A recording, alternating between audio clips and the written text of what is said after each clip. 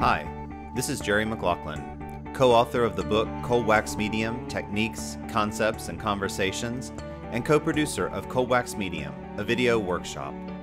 Welcome to Ask Jerry and Rebecca, a video series answering all your questions about Cold Wax Medium.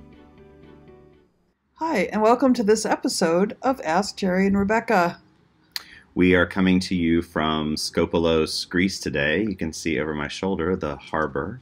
We just finished a two week workshop. It's been lovely. Yes. So today's question comes to us from Susan Gilly, from Janine Adamo, Tom Fries or Frise, Edie Myers, Jude Winkley, and Barbara Bagan.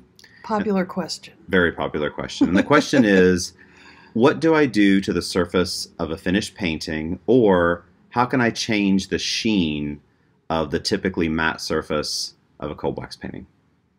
So, um, the easy answer is, and it is what Jerry and I both do, we don't um, do anything. Yeah.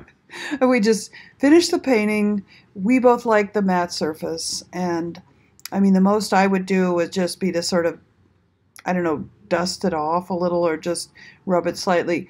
Um, but I don't even really buff it. Yeah. So that's going to give you the typical matte surface that a lot of people like, and it's one of the reasons people are drawn to cold wax. But some people do want a more satiny or glossy finish, and one way to do that is to incorporate an oil painting medium as you build your paintings. And the two that come to mind are Galkyd or Galkyd Light, made by Gamblin. And if you use those throughout your painting, or certainly in the final layers of your painting, then you'll get a surface that's a little more satiny in its sheen. And and they also help it dry. Yeah, they do speed up the drying. advantage Yeah. as well. Mm-hmm. Uh, another way that people can get uh, more satiny finished is to actually buff it once it's dry. Yeah, and um, that's something uh, Jim Sherbarth, James Edward Sherbarth, does um, by applying a, a coat of cold wax, letting it dry, uh, and you would do that once the painting was at least dry to the touch, and then um, he uses actually a car buffer to buff it, um, and uh, there there is no. We just want to say there's no need to do that. It gives it a certain finish, but sometimes people ask about a sealing the painting. There's no need to seal it. The cold wax is only uh, to produce that slightly glossy finish. That's its function. Yeah. And you don't need to use an extra layer of cold wax before you do that kind of gentle buffing. You can just buff the surface of the painting Yeah. directly. And uh, not everybody uses something as vigorous as a car buffer.